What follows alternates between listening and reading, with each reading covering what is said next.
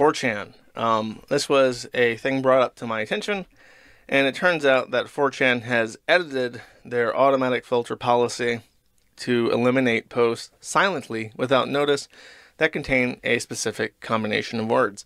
So when I say silently, I mean it will accept your post, it will say that your post has gone through, but it will not display your post, not even to you.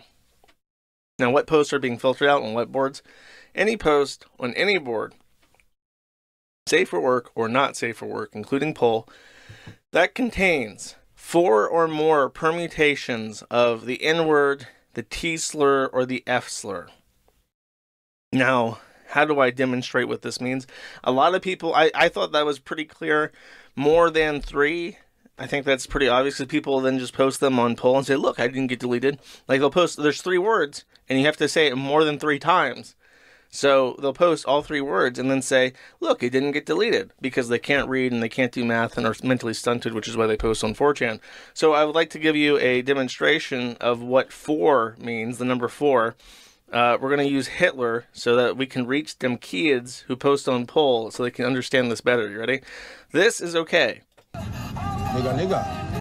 This is not okay. Nigga, nigga, was 10. That is four. There is four of them. Therefore, that post would be deleted. Do we understand? Have we have we determined what is the maximum number? Okay. Very frustrating.